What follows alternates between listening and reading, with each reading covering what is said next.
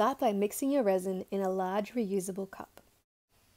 I'm now pouring 150 milliliters of resin into the center of a plastic sheet.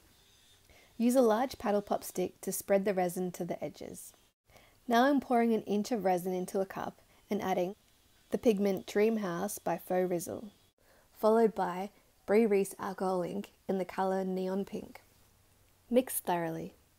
Now I'm adding the colour Grimace, followed by alcohol ink by Brea Reese in the colour Purple. I don't want to tint the resin too much, so I'm just using 4 to 5 drops. This is added to about an inch of resin. With the leftover resin, I'm now using alcohol ink in the colour Ocean Green. I'm not adding pigment to this, so to keep the colour rich, I'm adding about 10 drops. Starting with Ocean Green, pour a ring around your resin. that was a tongue twister. Now pour a ring of purple, followed by your neon pink.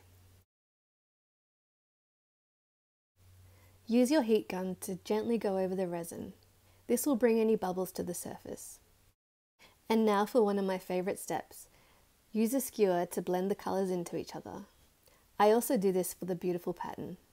Depending on how much you heat your resin with the heat gun, depends on how much it will keep the shape. I'm now adding some large iridescent glitter and pushing it into the resin with a paddle pop stick.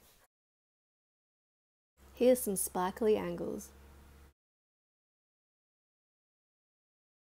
For this particular piece, I left it four and a half hours.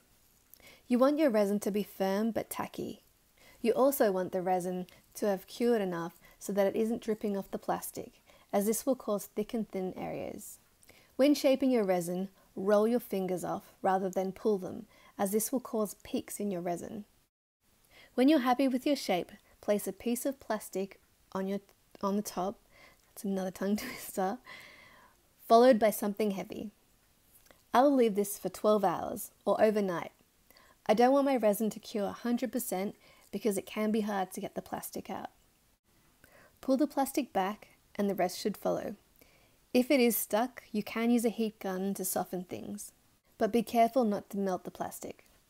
And there you have it, your coral inspired resin sculpture.